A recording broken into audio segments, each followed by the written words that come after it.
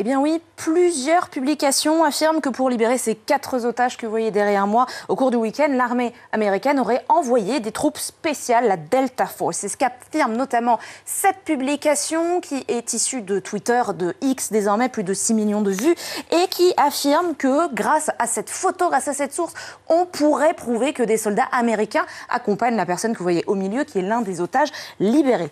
Ces deux soldats sont entourés en rouge, ça laisse supposer que ce sont donc des soldats américains, sauf que quand on fait tout d'abord une recherche d'images inversée, on arrive à ce cliché qui a été diffusé par l'armée israélienne, et ensuite on va pouvoir regarder si ces soldats, ils sont américains ou israéliens. Premier élément, les armes. Si on zoome sur les différentes armes euh, portées par les soldats, on se rend compte que c'est cette arme-là qui est de fabrication israélienne et qui est classiquement utilisée par l'armée israélienne. Deuxième élément, les uniformes. Les uniformes israéliens sont classiquement unis. En général, c'est du vert foncé.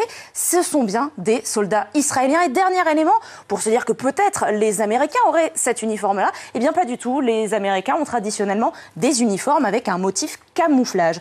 On peut retrouver d'ailleurs ces euh, motifs camouflage Sur cette photo, le président Biden serre la main à un soldat qui porte cet euh, uniforme, car par le passé, effectivement, la Maison-Blanche a bien affirmé que des soldats américains étaient envoyés en Israël pour aider à localiser les otages et pour identifier notamment les otages américains. Jake Sullivan a été interrogé sur cette question, sur la participation des Américains et auprès de CNN, il s'est exprimé et a dit que, bien sûr, il y a eu une aide d'un point de vue renseignement, intelligence, mais pas du point de vue militaire. Les Américains n'ont pas participé à cette opération.